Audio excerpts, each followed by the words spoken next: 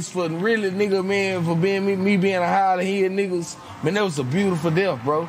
Like nigga I don't nigga nigga I hate that he gone nigga but that was a beautiful death nigga.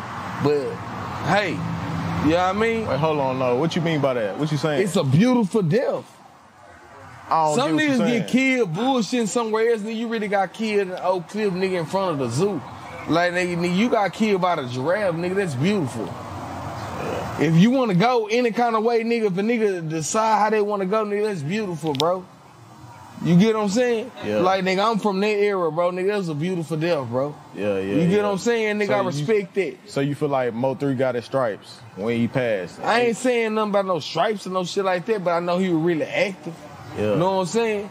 And it's a reason why he got did because he was too active. So somebody was scared. You feel me? Yeah. Yeah, that's the only reason he get done like that. Somebody was scared.